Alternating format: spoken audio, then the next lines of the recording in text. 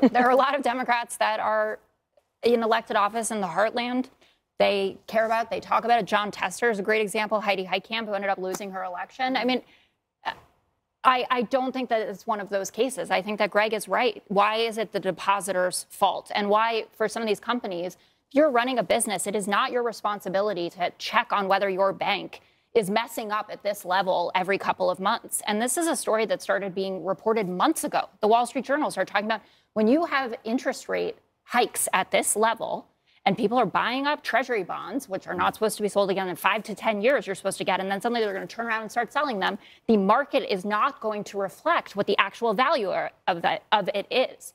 And something that matters a lot to this, and Dana said it happened so quickly.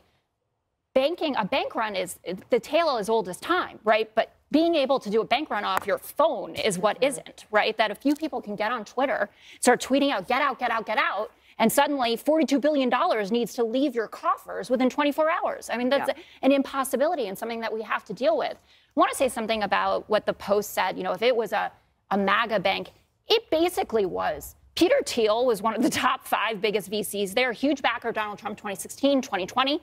In 2022, he resigned from the board of Meta. He was one of the original board members so that he could back J.D. Vance. He could join a Trump aligned PAC for J.D. Vance and Blake Masters um, the this embarrassing thing seven, whatever Jesse was talking about, all the wokeness.